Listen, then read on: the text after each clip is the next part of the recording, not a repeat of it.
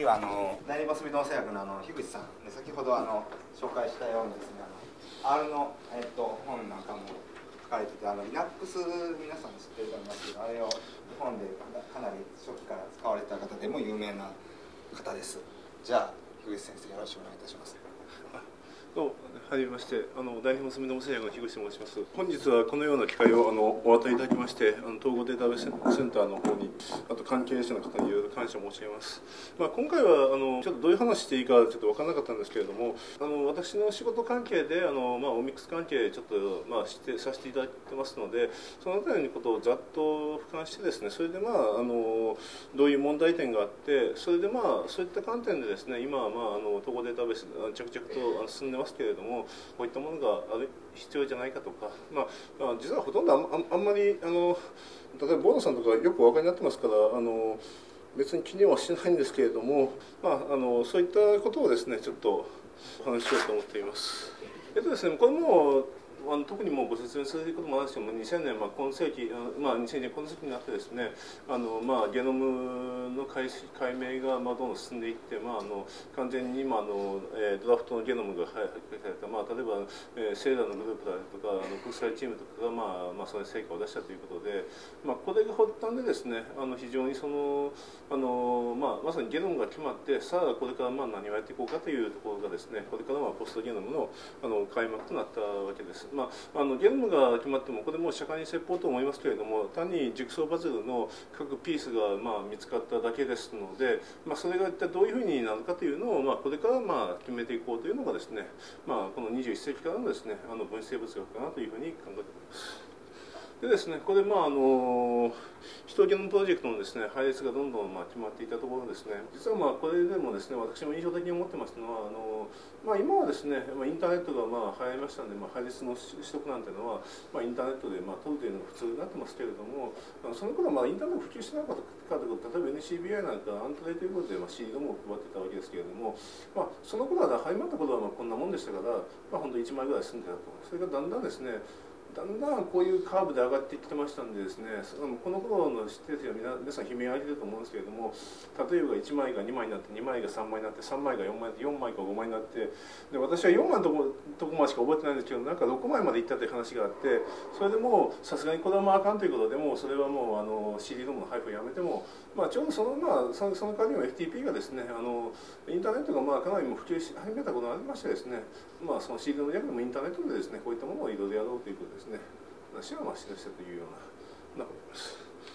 そうするとですね当然ですねそれに伴ってですねあの今のですねあの人のプロジェクトに対してですね各ですねあの応用技術がまあそれ発展してですねあのあと言いますとオーミックスののあのトランスクリプトミックスとでありますとかあるいはあのプロテオミックでそれを扱うのバイオインフォマティクスとですねそういったものがですねいろいろとあの、まあ、あの開発されていったというような、まあ、今もですね着々とですねあの開発されているというようなそういう状況にあります。まあ、あの今日あのちょっと参加者の名簿を拝見させていただいたのはあの生活者の人もいらっしゃるみたいなのもこれも社会切迫だと思うんですけれども一応薬のあの作る過程というのは、まあ、あの外的過程でもこんなですね過程を一応通ることになります。でですね、まあ、最初ですねあのまず創薬ターゲットのターゲットのケースそれであってあとスクリーンの経をあの構築するそれではまあそれが決まったらあの HTS というのはですねこれはハイスループットスクリーニングの役なんですけれども証しもですけれどもそういったものをやっていくと。まあ、大体このあの我々研究案がまで大体、まあ、この辺りになるわけですけれどもそうするとですねその中でバイオインマスというかあのそういったあのあのゲノム関係の思考で出てくるというのは、まあ、最初のこの辺りの段階。まあ、この辺りの段階でですね、まあ、疾患関連遺伝子を同定したり数学ターゲットの探索をすると。でこの後ですねこの辺りになってきた時にですねその薬効メカニズムあの、まあ、診察にやっぱりあの薬作用治療とかそういうのが必要になりますからその薬効メカニズムをあの調べていくとかですねそういったところでですねゲノムのですね利用となります。あとまあ実際これからなった時にですねここからですね実際まあテラメイド医療なんていうふうに言ってますけれども、まあ、スニップの解析とかそういったものがですねこの辺りのところでまあ出てくるというような話になったと思います。でですね、これもあの非常にあの、ですけど一応ゲノムの研究というのは本当にいろんな人があの関わるわけでして非常にその膨大なデータがありますからそれはじゃあ普通だとじゃあコンピューターだけかというそんなことは全然なくてですね本当にいろんな人がですねあの本当にコラボレーションしながらですねあの問題解決にあの当たっていくというですねことがあの必要になるわけです。であのそれでまあ今あのオミックスという話になっていっているわけです。まあ人のますとですね、まあ、こういったあのあの、まあ、よくある DNA というのがありましてそれからまあ DNA がですね、まあ、さっきあのいくつかその転写されてあの RNA 点ができますそれがまああの翻訳されてタンパク質に形作ってでそのタンパク質がですね、まあ、過去の立体構造を持ちますので相互化合物あるいはタンパク質同士のです、ね、相互作用を持ちますことからあのいろんなですね生理機能をですね発生してそれがですねいろんなですねここにプラスようないろんなですねものにですねあのつながっているというですねいうようなことになるわけです。でですね、あの DNA のところはですね、まあ、あのまさにこのさっきオミックス、あのオミックスというのは、まあ、先ほど何度か菅先生方がご説明されたようにですねあのモード的な解析あの、まあゲまあ、ゲノムなんとかミックスとかです、ね、なんとかオウムではですねそういったですねあのなんかそのモード的に解析そういうことを総称してオミックスと呼んでふうに呼んでおるわけですけれども最初のところがですね、まあ、ゲノミックスというですねそういった話になります。それはまああの、まあ、例えばスニップの解析とかあるいは例えばあのそれ以外の配列解析タンパク質の食材、まあ、例えば GPCR のですねあの判定とかですねあとブラストとかそういったものがですねあのこの辺りのところにそれからですね、あのトランスクリプスさっきのこのこのあの今度はその DNA じゃなくて RNA をですね捕まえてですねつまりあの当然その何かあの、えー、体内で反応があった時はそのやっぱりその核の中の DNA が発生してですねそこからタンパクを作るわけですからその中のですねあの RNA を捕まえて調べるということがですねあの重要なことです。まあ、例えばコンピューターで言いますと例えば、まあ、ノードコンピューター同士があってですねあのそこにですねパケットがあの流れるだけあのネットワークのパケットが流れるだけですちょうどですね、まあ、あのネットワークでパケットを捕まえるというような、まあ、そんな感じあのそういう言い方もでき できるかと思うんですけれどもそういったですねあのこの代謝物をですね網羅的にですね解析するのがですねあのトランスピリットミックスということでマイクロアレンの解析とかですねこういったものがですね限られるかと思います。それからですね今度ですね今 RNA って翻訳してタンパク質になりますとこのちょっとまたややこしちょっとややこしくなりまして今度ですねあのタンパク質になったらタンパク質になってまあこれもご存知だと思いますけれどもあの翻訳された時にですね普通素直に翻訳されるわけではなくて例えばオルタネスパーシングとかですねそういったものが発生してここで非常に多様性が発生します。それからタンパクでありますことから翻訳就職ということが発生しましてそういった意味ではですね例えばこれがあの、まあ、今3枚遺伝子なんていうふうに言われてますけれども実はここに出るものはもっとそれ以上のですねあのものが複数に絡み合ってくるわけですけれどもその中でですねそのプロあのプロテオムの挙の挙動をですねあのいっぺんにその捕まえる手法としてですね今度はですね例えば二次元電経道でありますとかあとこの前あの田中先生があの述べていただいたあのマススペクトですね。そういった領域、まあ、こういったものでですねプロテオームのあのタンパクの挙動をですね調べていこうというそういったあのそれから今度ですねあのまあこれだけにつきましてだけどこの次の領域メタボロミクスというのがあるかなと思います。それはですね、あの当然ですね、これがあのタンパクができます、それは個々のですね化合物とですね相互作用をしてあのわけですから、その体内のまあ先ほどあの KEGG のデータベースというのがありますけれども、まさにあのいろんなですね体内にあのタンパク質と関連しながら低分子の化合物がいろいろ挙動していますから、そういったものをですね網羅的に調べることによってですね、あの何か毒性とかでね、そういったものをですね見ていこうというですね。いうことになろうかと思います。でですね、まあ、今のお話を話してますと、例えばですね、あのまあ、マイクラレの解析がそれからですね、プロテオムのですね、こういったですね、解析があって、これはですね、ちょうどこの左側の絵ですね、これがまあ二次元電経度というようなものです。それからですねあのこれがまあ下のですねちょうどまあ LC マスというかですねあのリキッドクロマトグラフィーでまだいたようなそんなところです。それからあのこちらはメタボロムのデータということであの、まあ、まあそのデータだったりそういうことになります。それから、あ、の当然この文献情報ですねいう、まあ、いろんなあったりしてですね。あとタンパクですから当然構造をこんなふうに持ってたりする。そうするとですね、あとこれ当然ですねあの、そうするとこういった使ってですね、この中身を管理したり、あるいはこういった文献情報とか、まあ、データベースか二次情報を作る社内のデータベースという、まあ、社内、あるいはその企業、あるいは研究機関の独自のデータベースなんていうですね、そういったものがあるわけですけれども、そうすると、当然ですね、データベースあの非常にその多くて、まあ、これ、ま、ざっと書いたところですけれども、まあ、マイクロアレイも非常に膨大なまあデータが発生します。それからまあプロテオームのですね、あの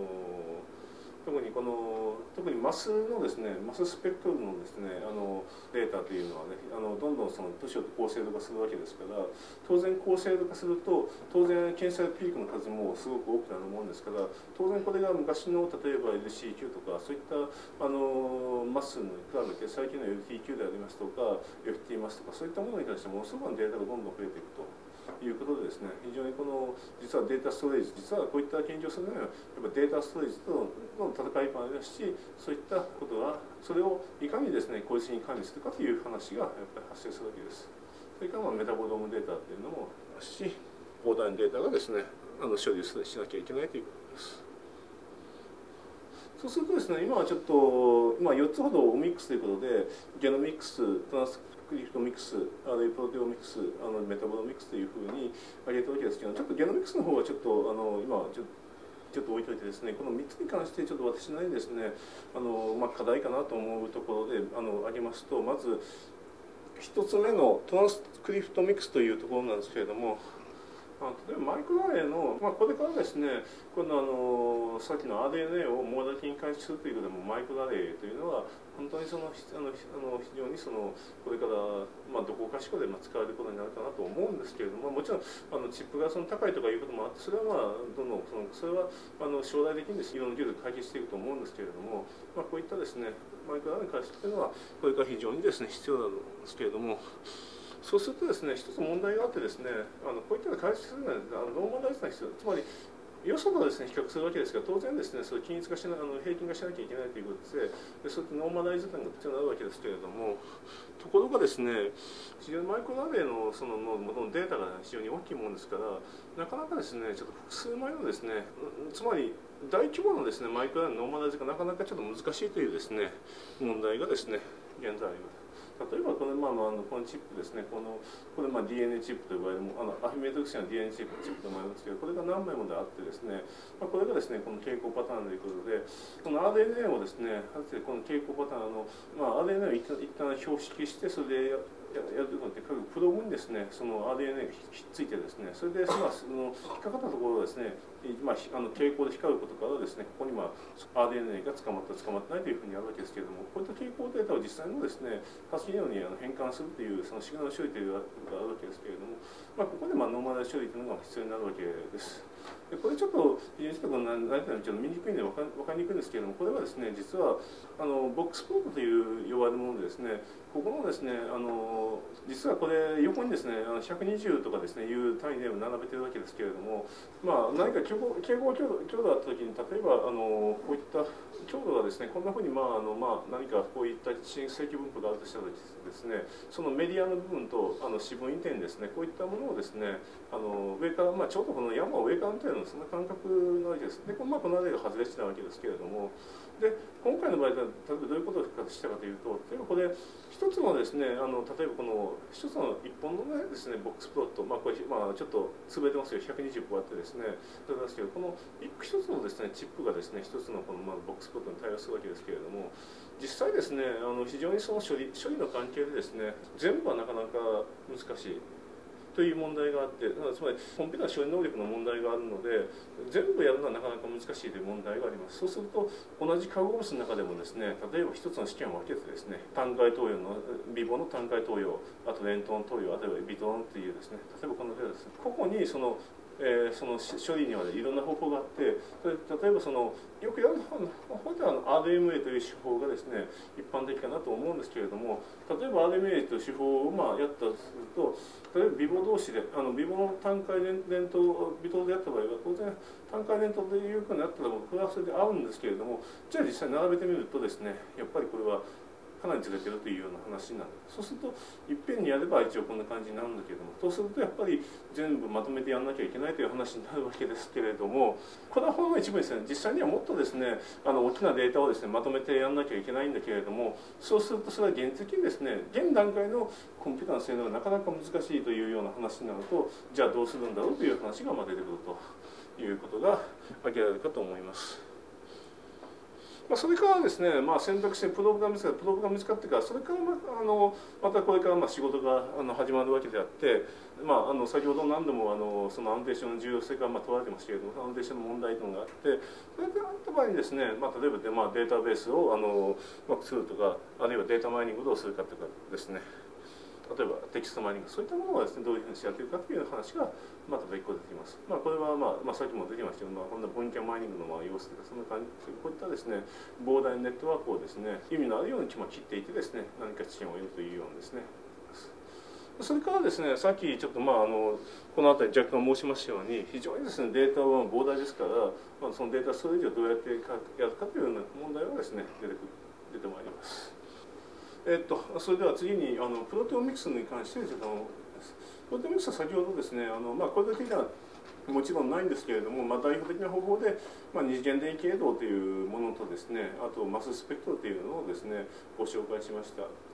であのまあ二次元電気運動のディファレンシア値つまりあの比較してですねその回復していくってあの薬剤を投与した時にどういうふうに変わったかっていうかのをまあ例えばこの二次元電気運動の話なんですけれども例えばここをですね、まあ、これ1枚しか出ないので例えば2枚ってあってですねこの見てると例えばあのこの辺りの非常にですねこの辺りを見ただけでは本当に非常に分かりにくい。つまりあのあの非常にいろんな分解物とかですねたくさんのタンパクが出てきますのでそういった場合にそのなかなかですね、まあ、これは今その山をこの見てですね実際には山はこんな感じになってここがまあやっぱりちょっと違うんだろうなということで、まあ、ここは違うだろうなということで今当てをつけてるわけですけれども実際にはこんなことをやっぱりこの状態を見るのはなかなか不可能でそれをコンピューター解析してですねあのこういった山が違うだって多分ここは違うだろうというようなするとやっぱりこれはなかなか難しい。なかなかあのソフトはできるだけまあ難しい話だということがそれからマスロースというのはやっぱりこうですね。あのこういったあのサンプルを使ってですねこれに対してこれは SDS ページということでまあ展開してですねこれ今回はショットガンという方法を使ってるわけですけれどもそれをまあトリプシンかなんか紹介してですねそれをあのバラバラにしてですねそのバラバラにしたまあプロでも全部引っ掛けていこうというような話をするわけですけれどもでそうするとね今度はなかなかこれはそれだけではなかなかさっきの二次元でもこれでもでもあれなのにこれはもっと汚いですからさすがにこれをいきなりマスにかけるわけにはいかないので通常はですねマスのあの前段にですねクロマトグラフィーというクロマトグラフがあのあってですねそのクロマトグラフで分けたものをですねあのマスでチェックするというようなですねあのあります。通常こういった場合ですねそのマスとかマスマスという方を使うわけですけれどもつまりマスマスというのはなかなかその分子だけでは見つからにくいのはそれを、ま、さらにですね強力なイオンを当ててプロテインあのタンパクを分解してですね断片にしてそれをあの当然そのあの同じそのあの分子量のタンパクでもタンパクの構成が違えば切れ切れ方が違いますのでそこでですねそのバラバラになったものからですねきっとこいつはこうだろうということを推定するようなソフト、まあ、これはまあ代表的にはマトリックスサイエンスやマスコットというですねあのソフトウェアあるわけですけどもこれでまあ一応まあ同定していこうとしているところです。でも実はこれでもですね非常に大変で、まあまあ、こう例えばこれだけ出してますけど実はですねこれがもう本当にもうものすごくスクロールしたらもう何百ページも及ぶようなですねそんな状況でですねそういったものになるわけですから実際にはこの得たデータをですねまたこれをここまでは割と簡単に出るとここから利用者がねこれをですねずっと見てですね妥当か妥当ないかを実験者がですね整理していくという作業ですこれがやっぱり非常に大変なというところがあったわけで、まあ、この辺りは実際どういうふうにやっていくかというのはですねそのバイオマティクスどうやっていくかというのは一つ鍵なのかなというふうに思っています。それからメタボロームの研究ですけどメタボロームの研究に関しては、まあ、あの始まったこともことが日浅いというかあって実はさっきのゲノミクスあのさっきのトランスクリプトミックスの DNA チップの方は、まあ、そういった、まあ、あのことは、まあ、かなり前から研究されていて、まあ、それで、まあ、すでに製品化されてあの、まあ、かなりの定性的定量的にマイクドアレイでその,、えー、そのパターンが取れるようになったわけです。それからプロトロームに関してもあの、まああのまあ、まだまだというですね、まあ、あのずっと前に始まったわけですけどそろな知識があるんですけれどもメタボロームに関してはまだ始まったばっかりで実はここのですね実験をどうするかということ自体がですねまたよく決まっていませんだからここをですねどういうふうにあの分離してですねあの例えばこれマウスに、まあ、例えばあのメタボロームという代謝物ということで通常は尿とかあの血液取ってサンプルして、まあ、マスにかけるわけですけれどもそこでですねこういった実験系そのものがまだよく確立されてないということです。ただ研究としてはやっぱりまあそれができたとしてですねその例えばマイニングの処理を行ったりですねあるいはそのあの代謝物を同定していくというのは研究はそれであることがあってそれはそれでまあ並行的に進めてるわけですけれども例えばまあその実験系にてその後のですねえー、っとまあ低分子化合物をまああのまあ同定していくというところにてはですねあのまあさっきのそのデータマイニング手法の確立になります。まあ、一般的な創設ではあの主成分分析とかあの PLS なんかを使うというのが一般的に言われてますけれども実は私は必ずしもそうじゃないだろうなというふうに思ってて違う方法をちょっと研究したりするわけですけれども例えばまあこんなふうにですね代謝物の今のマスのピークを測ってですねこんなふうにまああの代謝まあ投与1日目に2日目でまあこんなふうにプロファイルが変わる。実はあの、えー、この時溶媒溶媒を入れてブランク入れてるんで実は溶媒入れたことによってもですね実はそれは本当は、まあ、ちゃんとですねプロファイリングが分かれてしまってというようなですねこういったですね分類を表するという話です。それがまああの化合物のあの特定にしているわけですけれども。でまあ、そうするとですね、まあまあ、今のマイニングのあの話はあるわけですけれどもじゃあ今度ですね必要なそのいろんなピークがあってその重要の質の高いピークをですね、まあ、あの捕まえてそれに対する化合物を当てていこうなんていうことを考えた場合ですねそうすると同じようにですねあの実はこういったですねマススペクトルはですね非常に高精度化ししまして今はですねその ppm あのぐらいのです、ね、精度であの測れる精度を持ってます。で PPM の精度がどういうことになるかというと実は例えばですね低分子物の分子量が大体あの分子量が大体100あの数百ぐらいだと考えますと PPM の精度というのは実は少数第5位までですね有効になってしまうというような話なわけです。まあ、実際にはですねいろんなものがあってなかなか本当によっぽど条件が良くない第5位までは取れないんですけれどもそうするとですねでさらにですねもう一つ問題などは実はそこであのマスで引っかかるのは精密精密指標というものをになるわけです。で通常化合物に関しては当然同位体が存在します。例えば炭素だったら12とか13とかあるわけですあって酸素でも161718という同位体が存在するわけですけれども当然天然にはですねいろいろそのその存在しているそのその日でですね通常ですねあのいろんなそのデータベースに載っているの平均分子だと呼ばれるものなんです。ところがこのマスの場合はそれは全く別物と認識されるものですからそうすると実は平均分子量では主なところに全然出なくてその精密性をですねあの見せる必要があるわけです。だからってですね、今、パブケムというですね、HBA のそのケミカルバイオロジー、あケミカルケミスのデータベースがあるわけですけれども、実はあれは表示はですね、今、平均分子が出てますけれども、実は FTP の中身はもう、精密資料がもう今、掲載されてまして、それもですね、実は NCBI に用意するのは少数第6位までですね、まあ、それ6位にはどういう意味があったのかわからないですけれども、そこまで計算して一応主催しているという。それから先ほど先ほど言ケグというデータベースもですねあれも実は精密性の方で掲載されましてそして少数第4位か5位かどっちかだったと思うんですがそういったものですね掲載だからそういったものをまあやっていく必要があるでですねそうなるとあの実は通常ですねあの化学のように有機合成とかやる場合は電子の質なんてほぼ関係ないんですけれども実は少数第5位まで有効になっています。実はあの電子の姿勢は実は関係見事に関係してしまってですねそれでですね実はピークを捕まえ捕まえられないという話があるわけですからそのあたりのデータベースそのものをですねちょっと変えてですねあの作り直さなきゃいけないという話が出てきます。それからですね実はもっと、ね、悩ましいのは質量がですね決まったとところですね、動物に関しては異性体というのが存在します。例えば立体異性体という5000異性体とか、まあ、いろんな異性体要は異性体がいっぱいあるわけですけれども、その中で、あるからその異性体まではなかなか決まらない。じゃあそれをどうやって特定していくかという話が、まあ、また出てきます。まあ、そうするとですねやっぱりやっぱりもう何かそのあのいろんなデータベースとかのやっぱ文献マインドそういったものをですねあの頼らざるを得ないだろうといういう話です。それからまあさっきちょっとあのいろんな人が書かなきゃいけないということを申しましたけれどもやはりこうなってくりますとですね。やっぱりかなりもうこれに関してはもう淡白というよりも完全にまあ化学の話になってきますから当然ですねやっぱりこういったあの私はやっぱりこの化学の一つですね、まあ、私も実は実はあの出身化学なんですけれどもあの化学のあの話ではやっぱりよくですね話をしてですねこういったものは多分基礎研究していく必要があるんではないかというふうに考えています。ではそれでそういったことを考えまして統合データベースのへの期待です。まああのざっくりのはですねこれはもう、まあ、先ほど趣旨ということでいろいろご説明がありますとですし特にですねあのその情報あのそういったの何が必要で何が必要でないかあのというのはよくもうあの把握されていると思いますので特に私はそのその何かこちらで言わなきゃいけないようなことはあの考えてください、まあ、ただ、まあ、ちょっとあえて、まあ、言うということでですね、まあ、あのすでにこれはカバーされているのあのすでにもう着手されているのもいっぱいありますしそれからあの中にはですねなんでこんなものを 要求するんやというようなですねこういったものもですね実はありますのでそれをですねしていこうかなというふうに思います。では先ほどですねあのこういったですねマイフリーマスの関しては、まあ、技術啓発が非常に必要だってだからこそですねいろんなまああの、まあ、ここにあの先生あのいろいろ本書いておられますけれどもあのこういったですねそのイフマスクのその全般の使い方とかそういったものはですね非常にやっぱり必要ですのであのそのウェブの探し方にしたってですねそれちゃんとそのあの知ってるしてないからやっぱり大きなあっ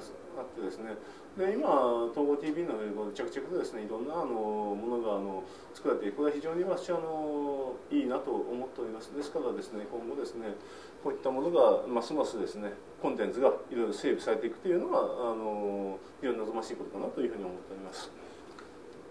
それからですね、アノテーションの充実ということで、まあ、これもさっき何度もアノテーションの話が出てきておるんですけれども、あるいはですね、まあ、人、マウス、だとしては、まあ、あのここに、まあ、いらっしゃる方の、まあ、あのいろんな方のご尽力でですね、かなり、まあ、整備されてます。ですけれども、ただですね、例えばあのこの疾患に関しては、マウスであるとか、ラットのような月種類ではですね、全然ダメということもあってですね、やっぱりそのますと、やっぱりよりですね、人に近いところでですね、できたらいいなというのが、やっぱりどうしてもあります。したがってですね今まあ猿とか犬のですねチップもそろそろ出始めてですねますから、まあ、これもまあ今のアンサンブルとサイトで今いろいろされてますけれどもそれ以前にまあ自身がないからやっぱりそれももっとそのアノテーションする前にもっと基礎研究が必要だという話がもしかあるかもしれませんけど、まあ、こういったものがですねやっぱり整備されていかないとあのこれからのマイクロアレイで何かをやあのやあのいろんなことをやっていこうというのでこのこの辺りの、まあ、重積なものとかアノテーションとか両方両面あると思うんですけどそういったものがですね結構必須になるんじゃないかなと考えてます。あれも実はあの、まあ、これは、まあ、あの発表もしますけれどもコモンマーモセットというですねやっぱりサブの一種ですね。そういったものにですね、まあ、のあれを任せたまで作って、まあ、ちょっとやっていこうなんていう話もあるわけですけれどもやはりその時にやっぱりそのアノテーションをどうしようかというのはですね非常に大きな問題だったので、まあ、もちろんまこれだけが重要というわけではないのでもしかしたらもっと微生物が必要だということもあるかもしれないんだけれども優先順位というのはやっぱりそのそのあの所内外ののですねその需要とかいうことで優先順位というのはあの決まってくると思うんですけれども、まあ、そういったものがですねあのやっぱりそのいろんな生物種のですねあの多くの生活者のところでいうことではあるいは獣医学という立場でいうとやっぱりこの人に禁煙種のですねあのデーションが、まあ、あの望まれるかなというように思っております。それからですね、データベースに有機的統合ということで、まあ、これもまあ先ほどいろいろ最初の説明でいろいろそれに発表があってたわけです。それからですね、まあ、今回はですね、あのちょっと話じゃなかったんですけど、ウェブサービスで言ってですね、やっぱりデータベースをですね、普通あのウェブのデータベースは人が見てアクセスするんですけれどもやっぱりあのこれデータマイニングとかあのこういったバイオインフォマティクス進んできますとやっぱりまあコンピューターの方からプログラムでこれデータベースをあの触りたいという需要は当然できます、まあ、それを解決一つとしてのウェブサービスというものでですねあの前回のあのバイオハッキンソンハッキンソンというあの国際会議でそういった話があの片山さんの指導で、まあ、あったわけですけれども、まあ、こういったものをあの時にただやっぱりウェブサービスについてはいろいろ問題があってですねそういったあの何かそのまあちょっとこれこれだけではなかなかちょっと何とも言えないですけれどもやっぱりちょっとねそのいろんなもちろん問題があってそのあたりをねですねぜひその、まあ、統合データベースの方要するに何かそのうまくやってもらえるようなそういう仕組みができないかな、まあ、例えば指導的役割とかそういったものはあると思うんですけれどもあまあ、そういったものはできないかなというところ。あるいはですねあの、まあ、あの国内ではグリッドということで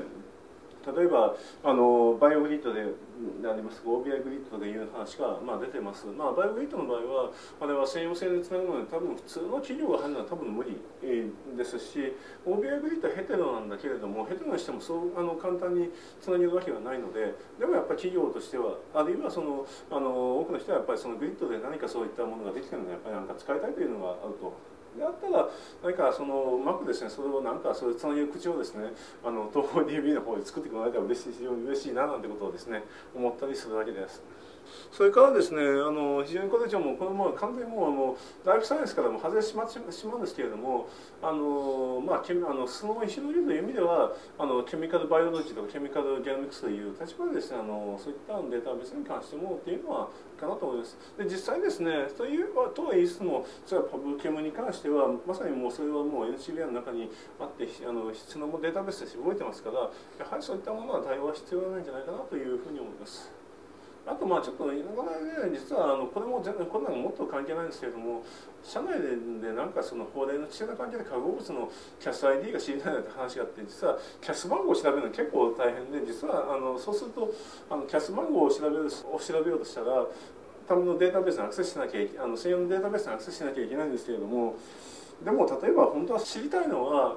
SN のサイファインダーなんて使う時に実は我々が知りたいのはそのサイファイン調べまさにキャス番号が知りたいんじゃなくてその対するいろんな情報が知りたいわけであるから、まあ、キャス番号ぐらいはなんかそういう用途で使うんだったらなんどどっかの機構でうまく話が通ってなんかこれがポンと手に入ってると結構喜ぶ企業の人が多いんじゃないかなということをちょっと思って書きました。それからですね、あの OS システム構築においてあのの先導的役割、まあ、さっきあのちょっと紹介ありますけど、私はあの、まあ、あの OSS、あのまあまあ、最近提供、あの最近 OSS が訳されることが多いけど、オープンソースソーションあのソフトウェアソリューションそういったものですね、で私はあのプライベートで、まあ、Linux ということで、まああのまあ、今回も10年ありますけど、最初の Linux カンファレンス、まあ、98年に行われた最初の実行委員長させていただいたこともあったんですけれども、ちょっと実はこの前ちょっとスラッシュットに出てちょっと暗くされてて一応頭痛いんですけれども実はあの日本ポストレスユーザー会の 去年まではちょっと維持もちょっとやってます。そういうことで、まあ、あの実はまあそこにいたのはプライベートではあるんですけどやっぱり私があのこういう研究やってるという意味で OSS は欠かせないということであのそういったところで、まあ、あのかかってたわけなんですけれどもやっぱりこういったですねところにですねこういったあの OSS のあのシステムで提示される方非常に多いものですから何かガイドしてほしいなというところがあります。というのは例えばですね。あのある研究機関というかあのその公開プロジェクトであの何かそのシステムを作ったということでその輸出を見てると例えばPerl 5.9が必要ですなんて話が出てきて Perl 5.9というのは stable じゃないですから実はじゃあそうすると普通に考えるのはじゃあ5.9のにしかないようなあの機能を使ってるんだろうと普通は思うんだけれどもでもっと考えてみると実はたかだかそのバイオのデータベースでそんな5.9に必要なデータベースなんですあのそんな機能は使ってるわけは絶対ありえないのでだからそうするとですね結構本当にあの私から見ると本当にそのあのまああの大きなそのメーカーさんがいる関で、作ってるんで本当にプロかと思うぐらいですね非常にいい加減なですねあのあまりもあのとんとんでもない構成を平気で提案していくのが結構多いのでそういったものはですね何かあのなんか線路だけでそのガイドラインとかですね作ってくれるようなですねそういったものを担っていただけないかというようなことは希望してあります。でそういったところではですねすでにまあ先ほど何回やりましたオープンバイオ研究会というのもありますしあるいはその IPN の中であのあのオープンソースあのソフトウェアに関してはいろいろやっていただけこういったところを県外で連携してですねそういった何かガイドラインみたいなのをですねあの作成してるのでまあ中身が違っても多分その辺りはだいぶ結構決まってくるんじゃないあのじゃないかと思いますのでまあその辺りのところをちょっと期待したりはいたします。それから先ほどあのあのボーノさんの方から統合 DB はサービス量のテストという話はありましたけれどもでもやっぱり研究もやっぱりやってほしい。というのはあのということはあります。で私はさっきあのポスあのポスレスにかかあのというリレーションデータベースにかかったと言いましたけれども実はですねあのああいったあのリレーションデータベースに関して言うとですね一般的なリレーションデータベースというのはあの、まあ、いろんなところに使われますけれども頻繁なデータ更新があの発生するということでそうするとですねあのテーブルをいくつかに要素ごとに分けてあの正規化してですね更新時以上を防ぐということがあります。つまり何か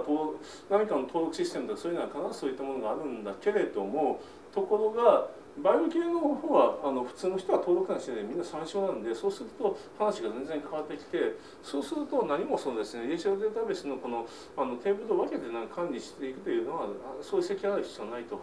いう話ですね。そうするとむしろですね、あのこれからですね、いろんなのデータベースがあのデータの量が多くなってくると、それよりもスケーラブルにですね、ちゃんと対応できるという話の方が重要になってきます。そうすると例えばじゃああのじゃああの今はそうなくても例えばあの Google なんていうのは Google や Yahoo なんてもうそれデータベースのはずなんですけれどもじゃあそれはそんな遅いかというと一応まあ平らでも遅いから、まあ、ほぼ一瞬でですね答えが返ってきます。ところがですね、あるそのそのマイクロあるデータベースをどこかが作ったなんていうと、解析がなんか1日かかりかかるというその信じられないですね、あの話が出てきて、例えばさっきもあのマイクロアレイの例えば管理にしてもですね、あの一つのあれは、まあ、遺伝子が、まあ、3万ぐらいですけど多分3万プロがあったとしてそれが試験があったらのも数万数万試験があったとするとですねそうすると、まあ、そういう数数万かける数万だから、まあ、例えばそれ単純に掛け算するとそこで、まあ、あの数億レコードは簡単にいってしまうなと。ただ数億レコード例えばあったとしても実は例えばそれが数億レコードあったとしたってあのインデックスを作れば一個一個の要素をあの検索するのはほぼ一瞬です。だけどそれをその同じ操作を6万あの数万回繰り返すなんてそれはそれはそんなもんやってられへんよねっていうような話になってちょっとやっぱりなんかシステム設計がなんかあのおかしいような気があのするのがあの正直おかしいかなと思うのが結構あるよ堂々とまあまかり通っているような気がしますのでやはりですねこういった大規模なデータベースの構築というですねこことはこれからですねあの特にバイあのバイオのようにこれからどんどんデータがですね出てくるというものに関してはやっぱりやっぱりあのある程度の研究というのことですねやっていただきたいかなというふうに思っております。であとマイニングに関しても基礎研究でやっぱりで、まあ、データマイニングテキストマイニングがあるわけですけれどもテキストマイニングということで言うとですね例えばあのヒドマルコフモデルヒドマルコフモデル角度マルコフモデルに関しては、まあ、あの GPC あの、まあ、PFAM のデータベースにもありますけれどもああいうその確率でですねその特徴を持ってあの抽出するというのは非常に優れた方法ですけれども、まあ、国内では茶筅というですねあの若近きソフトソフトウェアがいうのをマンコモデルを使っています。それから例えばそれをさらに今 Google に工藤さんというか発展させてあの CRF コンディションランダムフィールドというあのものを使ってですねさらにですね精度を良くしてですねあの分子あの分子を抽出する方法。でこれは CRF そのものはですね非常にバイオイマスの結構使われているものですけれども非常に文脈からですねこれは結構 ADN の抽出だろうこれは DNA の抽出だろうというですねこれもいうのあのそういう論文も出てますけれどもそういったものとかですねあるいはあの NM グラムとかですねそういったあの必須のそういったものまあこちらもあの統合 DV のその専門家の方いらっしゃいますけれどもそういったことがですね非常に必要なのかなというふうに思ってます。まあ、それからですねあのなかなか難しいんですけれども例えばなんかあの統合デビデビューこれからいろんなあの内容のデータベースをあの探していこうとしているわけですけれども難しいのは非公開情報つまりあの非公開情報さすがにそれも見せるのはそれは難しいんですけれども何かキーワードを見せてですね例えばあの何か探したらこれはどこどこ研究機関のどう極秘資料とは言わないけれどもそういったあの一般に手に離資料にあるよというふうに我々ですねそれが分かれば一応我々はそれで何とかしてあのそこから先は何とか見ようとするんじゃないかと。いうようなこともあるのでそれはなかなかでもあのちょっと難しい簡単に言いますけど大事なものとかいろいろあって難しいですけれどもそういうのがあるとやっぱりあの使う人もいやありがたい人がいるんじゃないかというふうなことでで勝手にちょっと書かせていただきました。それからですねこれもあの基本の人には社会性法でも知らないですけどやっぱりゴールドを意識したデータベース構築つまりどうしてもバイオイマスなんかやりますとあのどんどんあのちょっと目的を手段と目的だってその目的あの目的を見失って単に早ければいいとかいうかですねそのあのプログラムしてスマートでやればいいというようなですねそっちをどうも目指したがってそれはそれでいいんですけれどもでも実際にはですねこの統合レビューはやっぱ人から使われてあのいろんな人が便利だと思えてなんぼのものというのがありますからやっぱり泥臭いことが必要に必要になってくるとななるとつまりこれがですねあの何にどう使うかということがですねそれは嘘でもいいというのはちょっと言い過ぎですけれども何かそういったゴールを意識したですねその何かシナリオというのですねそういったものが非常に提案できればですね非常にですねいいんじゃないかなというふうにあの考えております。ということでちょっと非常にちょっとつまらない話で申し訳なかったですけど一応これでちょっと私のあの統合データベースの今後に非常に期待するところですどうもご清聴ありがとうございました。